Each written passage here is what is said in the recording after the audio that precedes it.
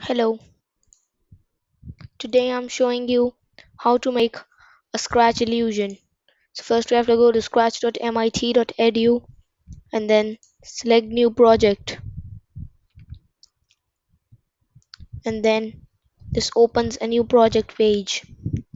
So then we go and click at this button which is applications and extensions and this.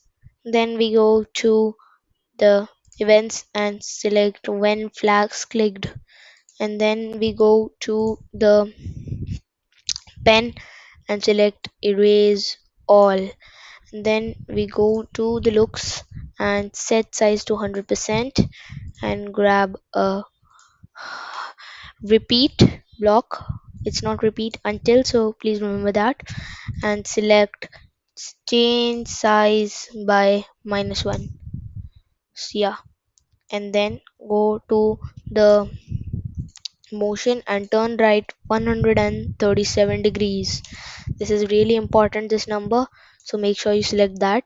And then go to pen and select stamp.